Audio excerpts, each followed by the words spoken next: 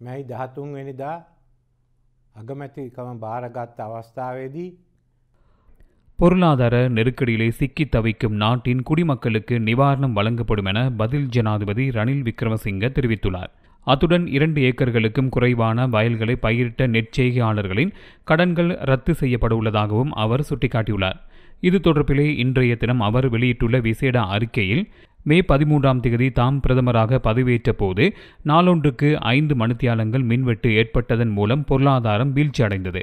அதன் பின்னர் இரண்டு மாதங்களின் மின்வெட்டு மூன்று மணித்தியாலங்களாக குறைக்கப்பட்டுள்ளதுடன் விவசாயிகளுக்கு உரமும் வழங்கப்பட்டுள்ள அதேவேளை நாட்டின் எரிவாயு தட்டுப்பாடும் நீக்கப்பட்டது.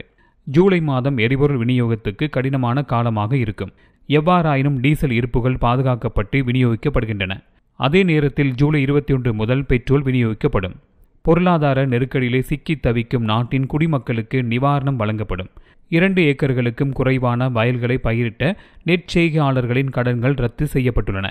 சர்வதேச சந்தையிலே கச்சா எண்ணெய் விலை குறைந்துள்ள நிலையிலே நாட்டின் எரிபொருள் விலை குறைக்கப்பட்டுள்ளது. அத்துடன் சர்வதேச நாணய நிதியத்துடனான பேச்சுவார்த்தைகள் முடிவடையும் தருவாயில் இருக்கிறது. வெளிநாடுகளுடனான உதவிகளுக்கான கலந்துரையாடல்களும் முன்னேறி வருகின்றன.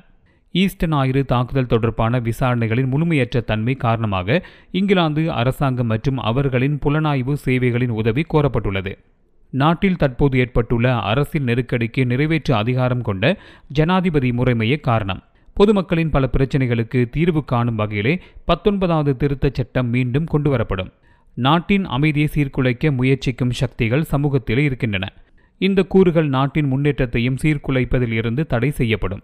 கௌரவம் மற்றும் நியாயமான கவலைகளை கொண்ட அமைதியான போராட்டக்காரர்களின் பிரச்சினைகளுக்கான தீர்வு கண்டுபிடிக்கப்படும் நாட்டில் உள்ள அரசியல் கட்சிகள் கருத்து வேறுபாடுகளை ஒதுக்கிவிட்டு தனிநபர் கருத்து வேறுபாடுகளால் நாடு பாதிக்கப்படுவதற்கு இடமளிக்க கூடாது பொருளாதார நெருக்கடியிலிருந்து நாட்டை மீட்டெடுக்கும் வகையில் அனைத்து கட்சிகளின் ஆட்சியை அமைக்க வேண்டுமென வலியுறுத்தியுள்ளார் ආදෑම් ලාබීන් ඉන්නවා.